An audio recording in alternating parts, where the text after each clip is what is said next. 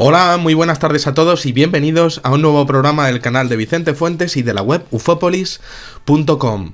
Hoy quiero hablaros de algo que me ha llamado muchísimo la atención dentro de mis investigaciones sobre los viajes en el tiempo, sobre el espacio y el tiempo dentro de el universo. Y dentro de este programa vamos a hacer dos cosas. La primera, vamos a viajar a 14.800 años luz de distancia al cúmulo globular 47 Tucanae y la segunda vamos a coger nuestra máquina del tiempo preferida para ver un caso en el que las ondas gravitacionales pues eh, llegan a influir en una anomalía dentro de nuestro propio planeta. Son dos programas eh, relacionados que se complementan y espero que os gusten mucho. Vamos con el primero. Nos eh, disfrazamos de astronautas y bueno, pues nos ponemos aquí nuestras cosas, nuestro casco y nos vamos al espacio, como hemos dicho, a 47 Tucanae. Allí recientemente se ha encontrado algo asombroso, una estrella que está siendo devorada literalmente por un agujero negro y está dando una vuelta alrededor de él cada 28 minutos, una velocidad récord, sobre todo porque es que está a una distancia similar a la que tenemos nosotros con la Luna. Es una auténtica barbaridad nunca antes vista.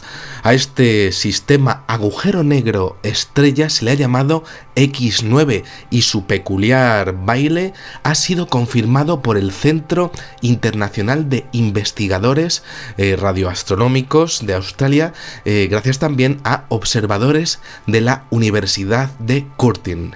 La investigación es que ha sido apasionante porque han mirado los rayos X de este sistema y se han dado cuenta de que para colmo esta estrella confirmada de momento como enana blanca está soltando oxígeno a una velocidad grandísima. Oxígeno a toda velocidad en una imagen que debe de ser impresionante de ver. Pero ¿es una enana blanca realmente? Pues sí y no, y os voy a decir por qué.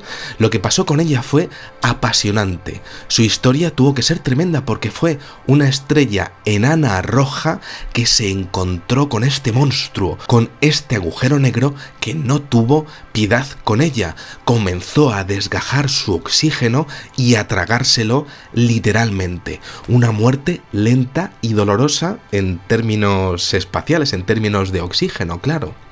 Este oxígeno ha estado cayendo al agujero negro desde hace millones de años y lo más increíble es que si sigue así, lo más normal es que se quede pues eh, como una estrella que salga despedida hacia afuera y que se convierta en un inmenso cuerpo exótico que ya no sería una estrella, sino tal y como ha confirmado James Miller Jones de la Universidad de Curtin en Australia, sería un inmenso y precioso planeta diamante. Desde luego algo pues digno de ver ese planeta diamante, sobre todo porque sería gigantesco, imaginaoslo, sería precioso.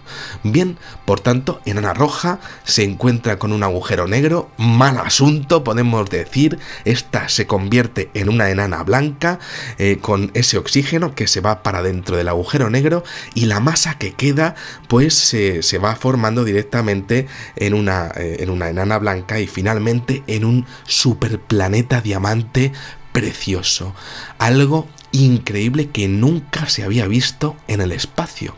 El misterio de esto es que se ha podido ver en infrarrojo, pero no se han podido detectar las ondas gravitacionales que han podido eh, pues transmitir todas las fuerzas que eh, bueno pues han permitido hacer todo este proceso y esas ondas gravitacionales vamos a ver qué es esto y, y vamos a ver qué tienen que ver aquí pues vamos a imaginarnos todo como si fuesen un montón de hojitas eh, en un estanque y esas ondas gravitacionales pues están eh, haciendo que esas hojitas, al igual que ocurre en el agua, pues hacen que se muevan. Bueno, pues mm, esas ondas pues estarían eh, también existiendo en el espacio. Esas ondas son las que se mueven entre el agujero negro y la estrella, como si fuese en un estanque. Todo esto que os estoy contando, pues un poco pues para que me entendáis, ¿no? No las hemos visto en este caso del espacio, pero las ha habido, las sigue habiendo y las seguirá habiendo en el futuro. Estamos demasiado lejos como para detectarlas, pero eh, están ahí. Y claro, nos podemos imaginar qué es ese monstruo, qué es ese agujero negro que se está comiendo a esta estrella.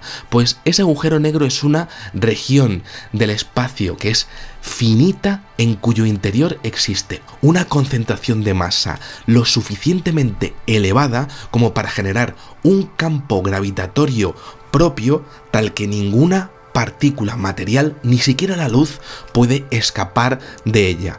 Un auténtico monstruo, una bestia que, bueno, pues, eh, ¿cómo se habría formado? Como si comprimiésemos un planeta con su gravedad, ¿no? Eh, de forma tan brutal que ésta no dejase escapar absolutamente nada, directamente nada, ni la luz, eh, nada de nada. Es una bestia que se mueve descontrolada por el espacio y que se come todo y arranca poco a poco, como decía, todo hasta soles, sistemas solares, planetas, lunas, todo lo que podáis imaginaros. No se sabe realmente qué ocurre cuando te metes dentro, pero sí se sabe algo increíble. Resulta que esos agujeros negros por sí mismos son emisores de ondas gravitacionales que alteran el espacio y el tiempo. Eso es un misterio el por qué lo hacen, pero lo hacen. Y claro, eh, según la teoría de la relatividad de Einstein, efectivamente el espacio y el tiempo, pues eh, directamente van juntos y pueden ser alterados de forma conjunta. Y esos monstruos del universo efectivamente lo hacen, alteran el espacio y el tiempo. ¿Y qué pasa aquí? Pues que esto es increíble porque el espacio y el tiempo se están curvando allí, haciendo que las horas, los minutos y los segundos, para nosotros, que lo estamos viendo desde fuera, eh, pues que esos, esos 28 minutos de cada vuelta, directamente, pues allí no sean 28 minutos. Es decir, al igual que ocurre en Interestelar, tenemos una estrella, quizá con planetas que orbiten alrededor de este agujero negro, y que, bueno, pues eh, todo lo que está ocurriendo en esos 28 minutos, gracias a esas ondas gravitacionales que están transmitiendo esos cambios en el espacio y el tiempo, pues esto podría suponer que eh, desde allí, pues esos 28 minutos, pues puedan suponer muchísimo más tiempo. Y si el sentido de las ondas es diferente puedan ser muchísimo menos tiempo. Si estuviésemos allí una hora pues lo podríamos eh, comprobar. Es posible que, que bueno pues directamente que esos 28 minutos fuesen cientos o miles de años o directamente solo unos pocos segundos es decir, eh, nosotros podríamos verlo gracias a la... Eh, esto es así, ¿no? Podríamos verlo y gracias a la teoría de la relatividad eh, podríamos ver solamente una hora y podríamos verlo y vivirlo todo de forma diferente, por lo que he mencionado anteriormente. Su velocidad multiplicaría todo el proceso y de ahí lo fascinante de la noticia.